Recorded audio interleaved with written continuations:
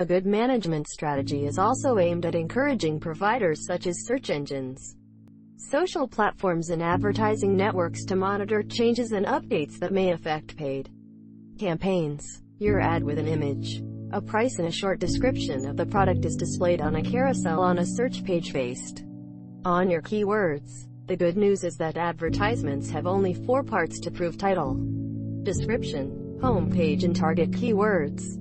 Each ad group you create should be marked with a set of targeted keywords, so that search engines know when and where your ad should be displayed. The search engine gets 3.5 billion visitors a day, giving you many ways to select the keywords that make your audience click.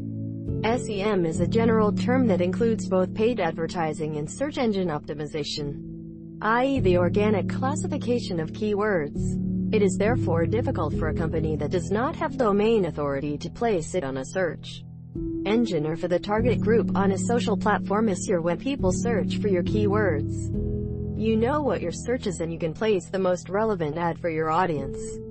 At a high level, maximizing the return on investment of your advertising campaigns means that it takes into account lifetime customer value and the cost of customer acquisition, which will help you to determine how much is worth spending on a new lead and how much can come from paid advertising. Other elements to consider when choosing a platform are the availability of keyword terms in which the target audience spends their advertising time and budget.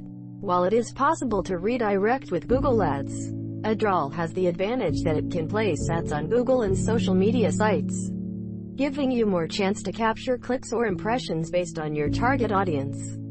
While paid search focuses more on keywords, paid social services expand from a demographic perspective and offer more opportunities to focus on your personality.